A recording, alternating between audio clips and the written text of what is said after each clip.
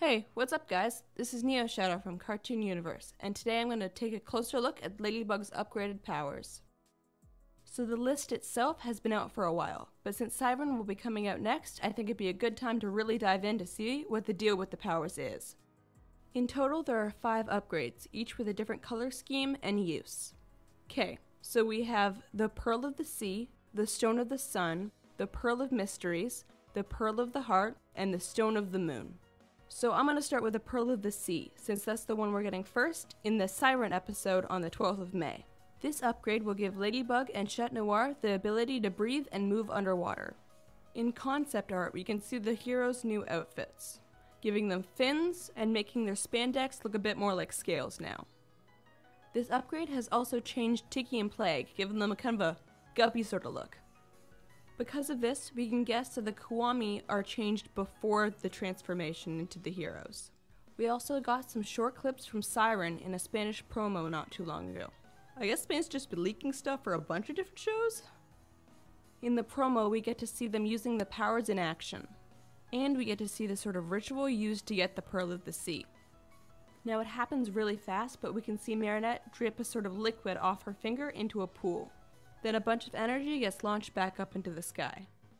This pool probably belongs to Master Fu, since we see him in the background. He's probably the one even showing her that she can do this. Now, I wouldn't say the drip coming off her finger really looks much like a pearl. It looks very liquid to me.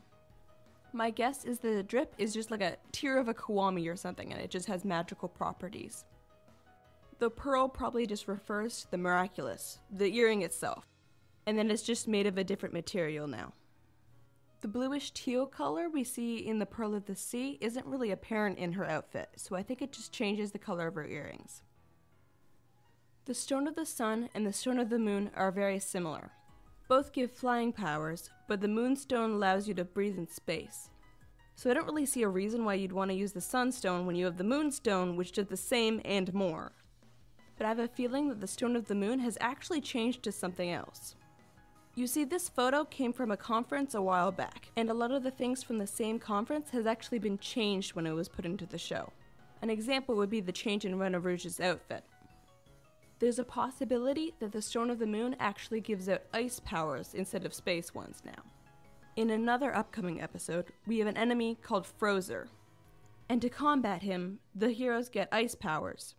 We also get a super cool clip of a storyboard where Ladybug skates through a car. But ice isn't on the list. It could have either been added onto the five, or they could have taken one out and replaced it. And I think it's very likely they changed the Space Stone with the Ice one. And going back to the Sunstone for a sec, I think it's very likely we'll get that in the Queen Wasp episode. Of course, the stone is yellow, which matches the bee aesthetic pretty well. In a lot of promo art, Queen Bee seems to be flying, and that probably means the Queen Wasp can do the same. And it'd be nice if they combated flight with flight. Now, the last two are very overpowered, and they're so overpowered that it kind of makes me question why they didn't use them earlier.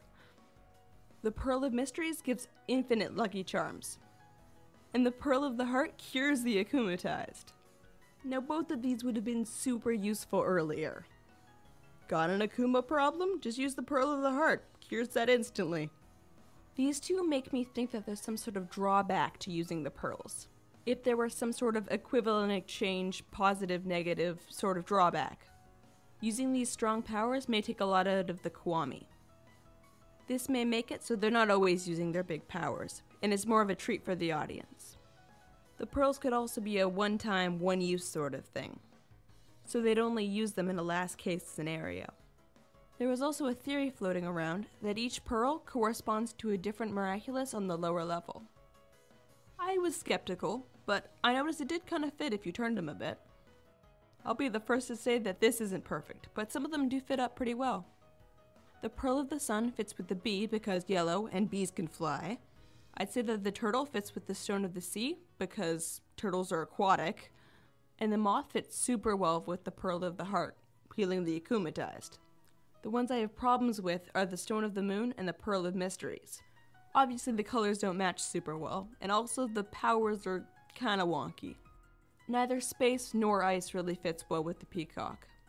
And I guess the fox could work with the Pearl of Mysteries since they both create things, one being Lucky Charms and one being illusions. But it's still not perfect. Another thing I wanted to mention is that this is really only covering Ladybug stuff. And through the photos, we've seen that Chat Noir and Plagg changed too. For the most part, his are probably going to be the same. The Infinite Lucky Charms is just going to be changed out for Infinite Cataclysms. I wonder if all of the heroes will end up getting upgrades.